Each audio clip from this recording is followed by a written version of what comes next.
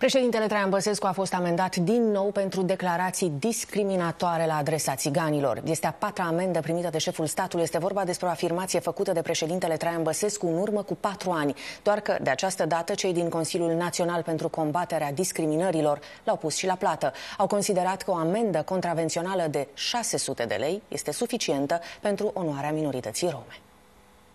Declarația care l-a făcut pe președintele Traian Băsescu, bun de plată, a fost făcută în 2010, pe când se afla în vizită oficială în Slovenia.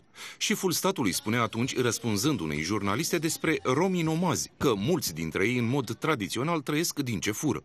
Este a patra sancțiune primită de Traian Băsescu, de când este președinte pentru afirmații discriminatorii.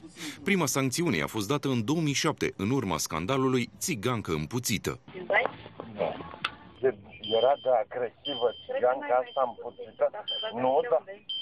Nu știu, Maria, dar un an mai târziu, iar l-a luat gura pe dinainte și iar a comis o discriminare. Nu pot să-i spui finlandezului, nu e adevărat, țiganii nu au fost în centru la Helsinki și n-au cerșit. Ce poate să facă diplomația când guvernul constată că țiganii cerșesc, cerșesc agresiv, au început să fure prin autobuze? Și Casa Regală a României a ajuns ținta atacurilor președintelui Traian Băsescu, nu doar minoritatea romă.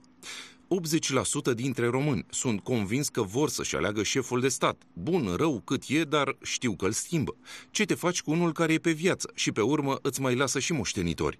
Dacă, Doamne ferește, iese vreunul cu dizabilități, ce te faci? Rămâi cu el șef de stat? Între gafele la adresa romilor, președintele Traian Băsescu nu s-a dat în lături să participe la sărbătorile țigănești. Aici nu și-a păzit buzunarele și nici nu s-a uitat după hoți.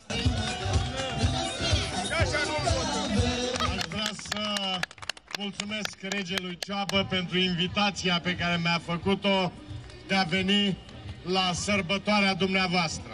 Votul dat azi pentru sancționarea președintelui Traian Băsescu a fost unul covârșitor. Șase membri ai Consiliului pentru combaterea discriminării s-au pronunțat pentru amendarea șefului statului și doar doi au fost împotrivă.